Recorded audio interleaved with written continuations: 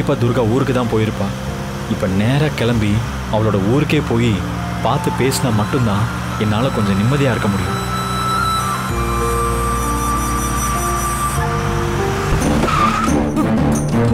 யோ! எங்க பார்த்து போயிட்டு இருக்கீங்க? கொஞ்சம் கூட அறிவே இல்லையா? நீங்க பாட்டுக்கு போயிட்டு இருக்கீங்க ஐயா நீங்க துர்காமா வீட்டுக்காரர் தானே? ஆ துர்கா வீட்ல தான் பார்த்துருக்கேன். ஆமாங்க ஐயா சரி இந்த நேரத்துல இங்க என்ன பண்ணிட்டு இருக்கீங்க? அதுவும் தனியா? இல்லைங்க ஐயா.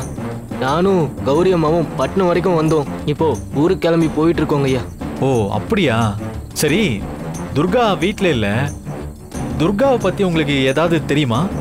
துர்கா கௌரி அம்மா ரெண்டு பேரையுமே இனிமே நீங்க நினைச்சாலும் பார்க்க முடியாதுங்க ஐயா. என்ன சொல்றீங்க? ஆமாங்க ஐயா. துர்கா கௌரி அம்மா ரெண்டு பேருமே கழுகு மலைக்கு போயிட்டு இருக்காங்க ஐயா. கழுகு மலையா ஆமாங்க ஐயா. அங்க யார் இருக்கா? இல்ல அவ அவங்க எதுக்கு அங்க போகணும்? அது உங்களுக்கு சொன்னாலும் புரியாதுங்க ஐயா. நீங்க முத வீட்டுக்கு கிளம்பி போங்க. இதெல்லாம் சரியானதுக்கு அப்புறம் கொஞ்ச நாள் கழிச்சு துர்கா பாப்பாவே உங்க வீட்டுக்கு வந்துருங்க ஐயா. எது சொல்றதா இருந்தாலும் ப்ளீஸ் எனக்கு புரியுற மாதிரி சொல்லுங்க. ஐயா ஊர்ல எல்லாருமே தெய்வ குழந்தையா பார்த்துட்டு இருக்க கௌரிக்கு கொஞ்ச நாளைக்கு முன்னாடி சக்தி எல்லாம் போயிடுச்சு.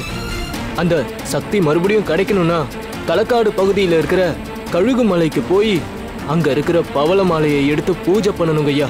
கௌரி அம்மா மறுபடியும் தெய்வ குழந்தைய மாறுறதுக்கு அந்த அம்மனுடைய சக்தி எல்லாம் கிடைக்கிறதுக்காக அந்த பவள மாலையை எடுக்க கௌரி அம்மாவுக்கு ஒத்தாசையா துர்கா பாப்பாவும் கூட போயிருக்கு.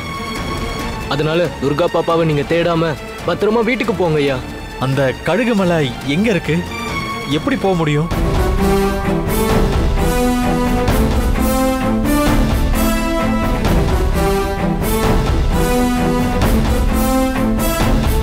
சரிங்க.